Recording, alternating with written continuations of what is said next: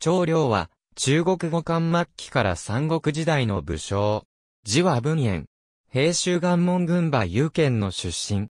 前漢の上一の子孫にあたるという。兄は、長広氏。子は、長虎。孫は、長光。三国志義士、長学奪り、女つ隊に、つてがある。五冠末の動乱期に、帝元、東卓、呂布に仕えた後、曹操の配下となり軍指揮官として活躍した。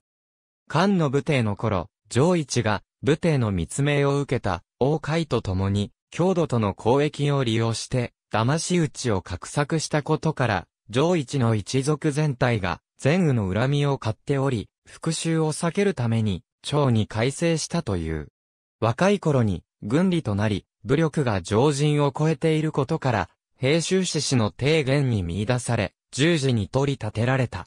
後に兵士を連れて、落葉に登り、何進むの命で、河北に赴き、母兵で千人を集めて帰還した。しかしその時には、すでに南進は宦官に殺害されていた。長領は兵を率いたまま、帝元らを排除して、実権を掌握した、東卓の配下となり、東卓が王院と呂布に暗殺されると、呂布の配下となり、木問となった。初平成3年6月、李閣、隠しらが長安を攻撃すると、敗れた呂布に従って、長安を出奔した。呂布が助手を支配すると、露国省に任命された。この時の年齢は28歳であった。建安3年春、高順と共に勝敗の劉備を攻撃し、救援に来た、曹操軍の加工厚氏を敗走させ、9月排除を陥落させた。任命時期は不明だが、この時には、北地大主となっている。同年12月、呂布が、可否で、曹操に敗れて処刑されると、長領は、帰化の将兵と共に、曹操に降伏し、中老省、関内公となった。建安5年に袁紹と曹操が決戦した、関渡しの戦いでは、その前哨戦である白馬の戦いにおいて、劉備からの交渉である関羽と共に先鋒を務め、元領の軍を破った。曹操は関羽が去ろうとしているのを察して、長領に、それを問わせ、関羽は正直に本心を吐露した。長領は関羽を兄弟と呼び、敵ながら信仰があった。長領は先行により非将軍に昇進した。曹操が袁紹を破ると、別動隊を指揮し、露国を鎮定した。その後、反乱を起こした東海の正気を過去縁と共に長期間包囲し、正木の心をよく推察し、過去縁の同意を得て、説得の任にあたり降伏させた。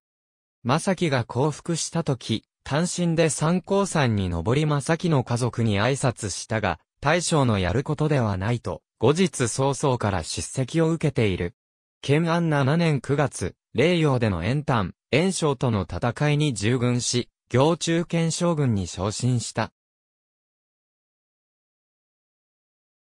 建安8年3月に、霊陽から逃走した縁兄弟を4月に、行場に追い詰めた後、5月に曹操は、京都に帰還したが、長領は、学信と共に、影安を落とし、住民を河南に移した。建安9年正月、行場包囲の軍に従軍し、8月に、行場は陥落した。行城陥落後は別軍を指揮して、長国、上山軍を制圧するなど功績を挙げ、黒山族の孫系らを降伏させた。建安10年正月、南ーの延丹攻略にも参加した。延丹が敗れると別動隊を指揮して、海岸地帯を攻略し、両党の族の隆起を破った。何？と共に無平の族の樹銭を破った。建安11年、行に帰還すると曹操は長領を自ら出迎え、手を引いて、車に乗せて艦隊した。曹操は朝廷に、学信、右近、長領の栄誉を称えて、これを上奏し、長領は、東和田将軍に任命された。別軍を指揮して、慶州を攻略し、江夏の諸県を平定、林営に駐屯し、都帝公に封じられた。建安12年、曹操の柳城遠征に従軍し、富良右岸と遭遇すると、長領は曹操に交戦を進め、大きく、規制を、噴せた。長領は曹操から指揮の旗を授けられ、長と共に先鋒となり、かくして、右岸を大破した。慶州の流氷からの攻撃に備え、長領は、長者に派遣された。右近が、英影に、学信が非敵に派遣されており、三人は、いがみ合うことがあったが、三軍の長元のおかげで統制された。軍中に反乱を計画する者があり、一時軍中が動揺したが、長領と親衛隊数名は威厳を示し軍の動揺を鎮めた上、反乱の首謀者を突き止め中殺した。建安13年、曹操が慶州を征伐する際、右近、長領、長、主令、利天、路、招き、氷海の七将軍は、少量大主、都督森軍となった長元に統括された。石壁の戦い、長領は、呉の水軍に撃沈された。建安14年、陳乱、梅生が帝族の六県と手を組み反乱を起こすと、右近、増原と共に討伐に赴き、長領は、長、牛豚を率い、陳乱の攻略を担当した。右近らが攻略を担当した、梅生は、早々に降伏したが、その後再び反乱を起こし、陳乱と合流するため山に入った。山も、陳乱がこもる、天中山も、要害で、険しい道しか存在しない難所であったが、長領は山の下に陣営を置き、部下の反対を仕切って、陳乱、梅生を攻撃し、二人の首を切り、その軍勢を降伏させた。右近が長領に兵糧を送り、増派が援軍の神あたりを撃退したので、長領はこの戦いに専念できたという。曹操は、諸将の功績を調べ、長領の功績を特に称え、領地を倍増し、仮節した。当時、長領は、右近、学信、長、女皇と共に名称と歌われており、曹操が征伐に出るたびに5人が交代で、進行の時は、先鋒となり、撤退の時は、伝軍となっていた。ある時、長領は、森軍の武州と仲違いし、養州地中の個室を森軍にしてもらえるよう養州志士の恩会に求めた。小忠氏は武州が優れた人物であるのに、長領が仲違いしたことを理由に辞退し、長領は反省して武州との仲を修復した。建安19年5月、孫権は、関への攻撃に攻略した。後に、曹操の援軍として長領が、京石まで来ていたが、落城の知らせを聞き退却した。建安20年8月、長領は、学信、利天と共に、合否に駐屯していたが、孫権は、自ら10万と合した大軍を率い進行してきた。曹操は長老を攻撃するため間中に遠征していたが、森軍の節安氏を使わし参照に、文書で、長領と利天は城を出て戦い、学信は、城で森軍を守れという指令を与えていた。長領はこれに基づいて作戦を立て、学信が、節安氏と共に城を守り、長領は、利天と共に出撃して、敵軍の出花をくじくことにした。学信、利天、長領は、元来不仲で、折り合いが悪かったが、国家の危機にあって支援は問わないとし、共同して、これに当たった。夜中にあえて自らに従うという聖兵を選別し800人を集め、牛を殺して将兵に振る舞い、翌朝出撃した。孫権軍の先行部隊が到着すると、孫権軍が集合していない時だったので、長領は鎧を着込み矛を持ち、自ら先鋒となって敵陣へ突撃し、敵兵数十人と二人の将校を切り、孫権まで迫ったので、孫権は撃をもって戦いつつ退走した。長領は、孫権の軍勢が丘に下げたのを見ると、孫権に降りてきて戦えと怒鳴りつけた。孫権は、長領らの軍勢が貨幣であることを見て取り、長領軍を囲んだが、長領の兵たちは、将軍、私たちを見捨てるのですかと悲鳴を上げた。長領は再び引き返して、包囲の中に突入、配下を助け出し、さらにまた包囲を破って脱出した。この日、長領らは半日間の間戦い続けたとされている。このあまりに不意だな攻撃に、孫権軍の先行部隊はすっかり意気消沈し、この奮闘に勇気づけられて、曹操軍の将兵は城を守り通した。孫権の皇族部隊が続々と到着し、藩将が人氏が長領を押し返し、前線が維持することに成功した。長領は合否に引き返し、士気が回復した。孫権軍は十数日間ほど合否城を包囲したが、しかし悪病で撤退した。この時、孫権は最高栄で配下の武将らと共に、撤退の指揮を取っていた。孫権らの軍勢が貨幣であることを見た長領は、7000余の騎兵を引き連れ、城から出て追撃した。大路には、川が流れており、商用津に津橋という橋がかかっていた。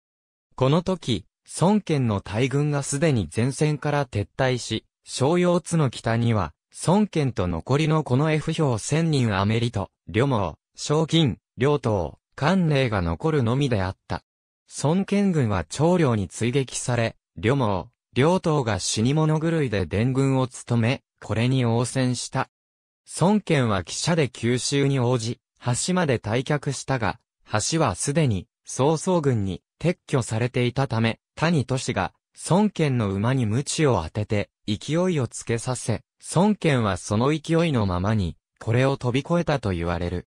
長領らは、両党の配下300人を全滅させ、両党は、長領軍の兵士を数十人殺し、全身に傷を負いながらも、孫権が退却したことを知ると良いで退いた。孫権の遊部と記者には長領に参端させられ、孫権を知らなかった長領が、戦いの後、呉の公平に、今し型、紫の髭を蓄えせ竹は高いが足が短く、馬に達者で弓の上手い将軍がいたが、あれは誰かと尋ねると、公平は、その方が、孫会計ですと答えたと、学心に、あれが孫権と知っていれば窮追して捕まえられただろう、と言って、捕まえ損ねたことを惜しんだ。長領はこの先行で、正当将軍に任命された。建安21年、孫権征伐のために申請した曹操は、長領が戦った場所を見て探索したという。長領の兵士を増加させ、椅子に駐屯させた。建安22年2月、ジュスクチの戦いでは増派と共に先鋒を務め、孫権の追記部隊を撤退させた。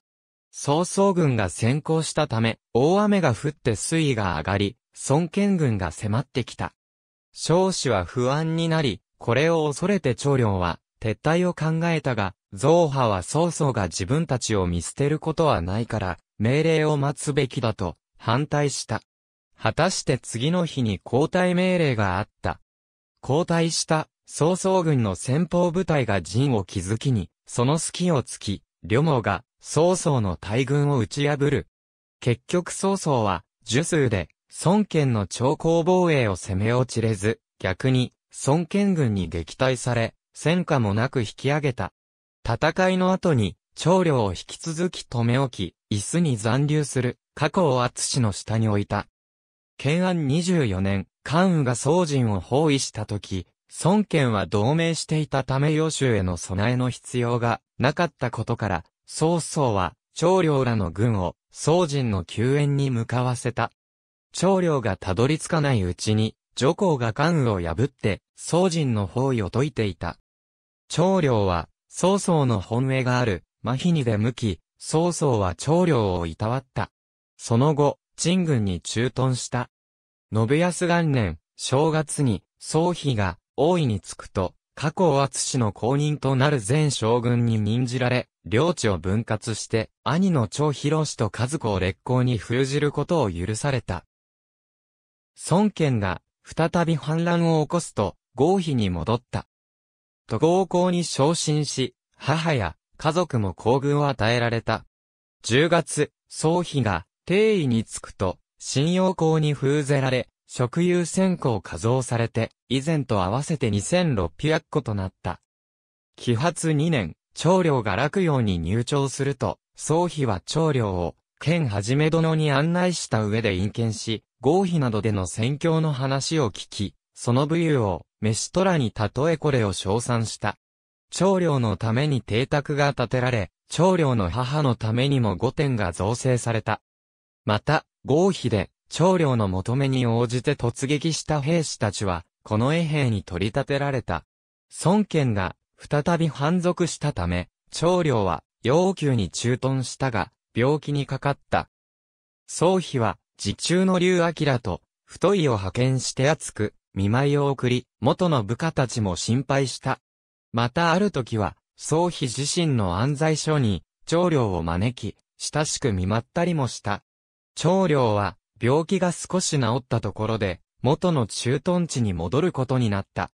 揮発三年、再び反乱を起こした孫権を討つため、宗妃は長領に命令し、早急と共に、海領に行き、長江のあぜに布陣することを命令した。長領は病身であったが、孫権は、長領、やむといえども当たるべからず。これを慎めといい。長領は、早急や増派と共に、旅藩を破った。後に、呉軍は増派を反撃して破り、陰路を討ち取ったが、早急と長領などが、呉軍に打ち破られ、その後、病が重くなり、江戸で死去した。宗妃は涙を流しその死を悼んだ。強し公と、送りなされ、この長虎が爵位を継いだ。揮発六年、宗妃は、長領と利天の合否での先行を称するため消直を出し、それぞれの領地から100個を分割して、一市を、関内港に封じた。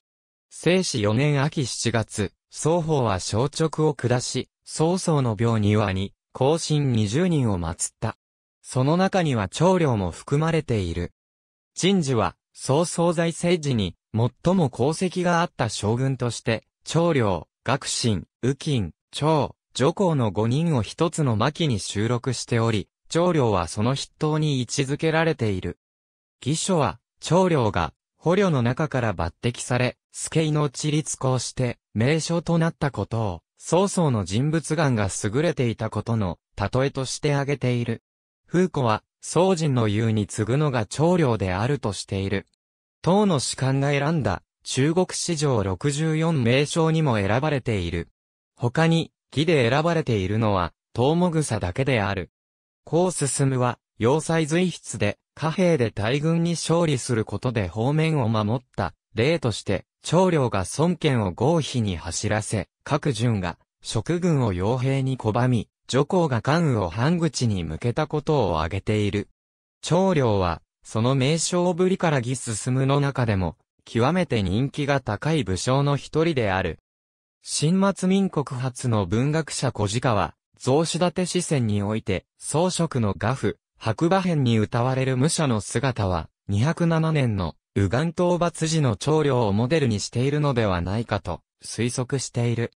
また、もう求むには、長領止め帝という表題があり、長領の武勇は、高等にも広く轟いたので、高等の子供が泣き止まない時も、両来両来といえば必ず泣き止んだ、という逸話が紹介されている。また、泣く子も黙るという言葉の由来とも言われる。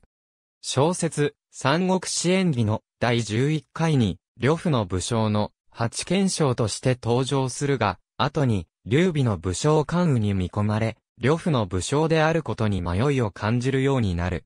資料が浅い呂布に対して、中言を続けたが、なかなか採用されなかった。